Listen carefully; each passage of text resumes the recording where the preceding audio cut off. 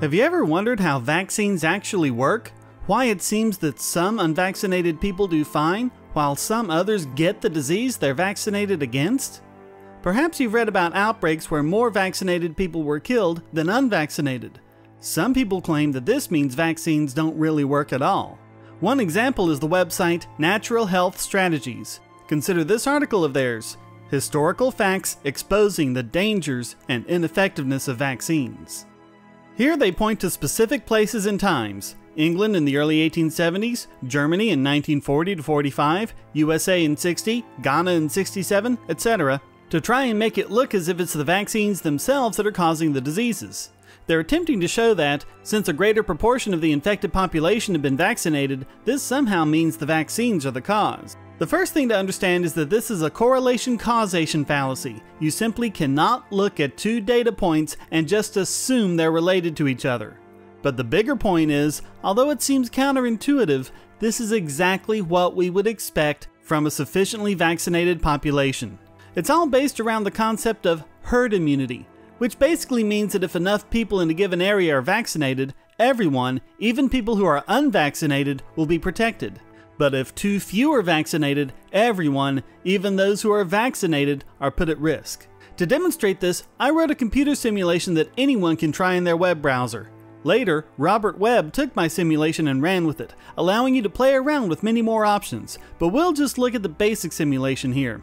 The link is in the video description, and the source code for the program can be viewed simply by viewing the page source. This is a 40 by 10 grid of asterisks, each one of which represents a person.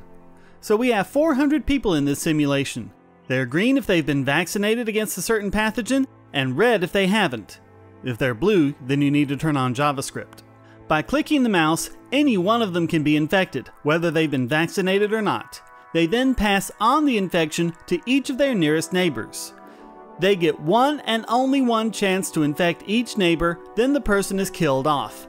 This is to keep them from reinfecting other people over and over again and to allow the simulation to terminate. But what we're really concerned about here is the infection rate. I've set up the simulation so that if a particular neighbor has not been vaccinated, then he has a 90% chance of being infected. If he's been vaccinated, this drops to 10%. Webb's version lets you play around with these values, but for our purposes, this should be adequate. No vaccine works 100% of the time, but I think you'll agree 90% is pretty good. So we're testing this in a fairly ideal scenario, assuming that the vaccination works at 90% efficacy. So when we see this same effect later on, namely more vaccinated people being infected than unvaccinated, we'll know it's not because vaccines don't work. The simulation assumes that they do. Also, there will always be a natural immunity in the population. This simulation gives everyone a 10% chance to fight off the disease on their own. Let's see what happens on a completely unvaccinated population. We set the vaccine coverage on the left and the right to zero. You'll see why I divided them out in left and right later. Now we just click on any member of the population to infect them and watch the disease spread.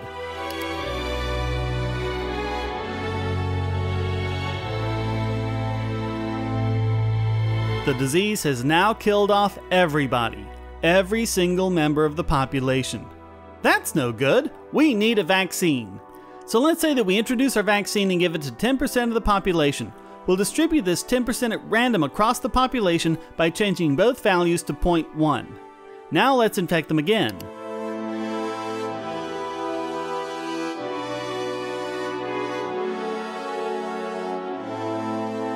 Oh dear.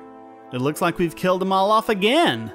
Running this multiple times, we see that we can sometimes get a lone survivor or two here and there among the vaccinated population, but for the most part it kills off everyone, vaccinated and unvaccinated alike. But remember, the simulation assumes that our vaccine is 90% effective, so why does it kill off everybody? Think of your immune system like a prize fighter who can knock out anyone who comes into the ring with him. Now imagine him being beset by 10 people at the same time. No matter how good a fighter he is, he can easily be overwhelmed and defeated. Your immune system is the same way. What's happened is that the vaccination coverage has not yet reached the level of herd immunity. Even if we increase coverage to 50%, we still have the pathogen moving across the population, albeit with more survivors among the vaccinated. In this particular run, we have one lone unvaccinated survivor, because he was protected by a barrier of vaccinated people. This gives us a clue as to how herd immunity works. The more such barriers we have, the safer everyone is. Let's move the coverage up to 90%.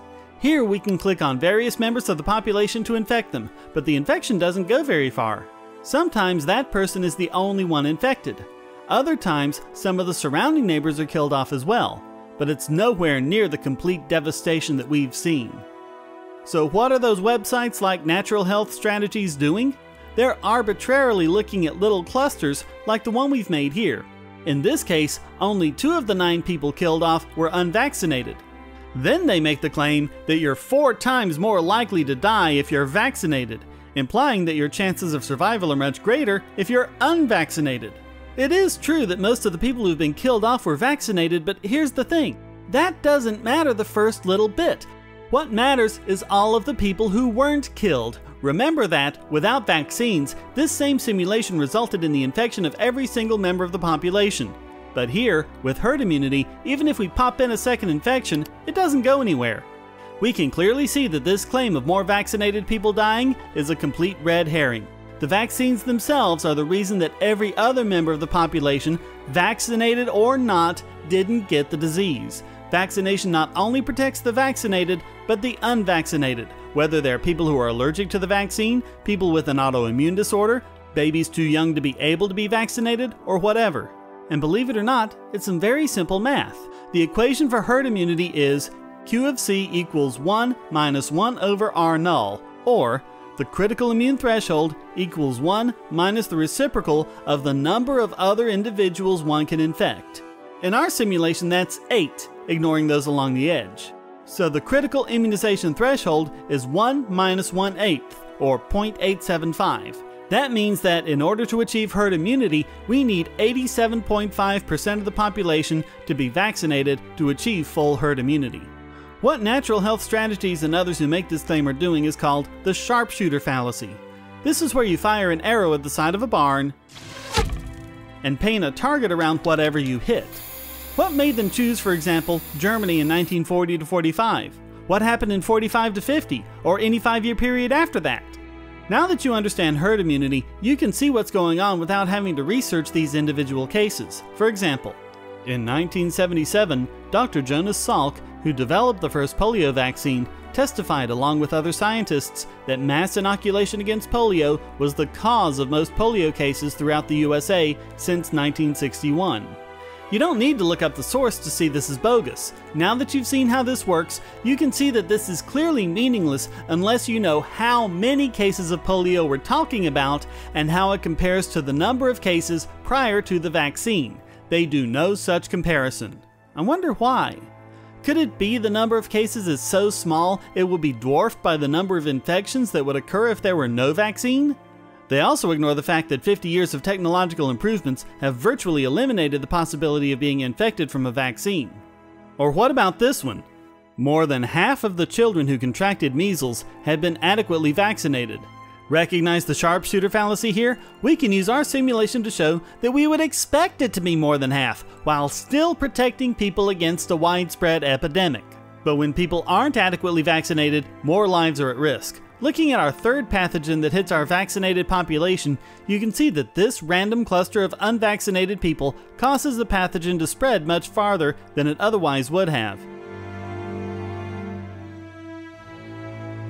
To verify this, and to show the very real harm that comes from inadequate vaccination, let's use these different settings for left and right. Let's say that the left-hand population is the sensible one, and so they vaccinate at the 90% rate, whereas the right-hand population has been reading natural health strategies and decided to listen to them instead of their doctors. What happens?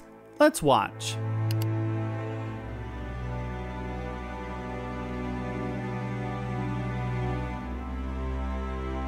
Was there ever any doubt? The people on the low vaccination side, even the ones who were vaccinated, died off, except for this one lone very lucky survivor.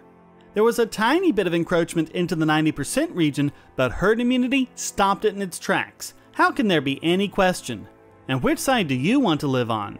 The conclusion from this simulation matches exactly what scientists have found. You're protected from infection in a crowd of vaccinated people, even if you yourself are unvaccinated.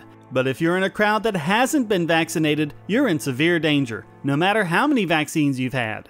This is why it's important to check with your doctor and make sure your vaccines are up to date. Even if you're an adult, you need a booster of certain vaccines every now and then, for example, pertussis. Adult vaccination boosters are low, and this puts children at an unnecessary risk of the serious health consequences of whooping cough. Vaccines are so cheap and safe that there really is no reason not to.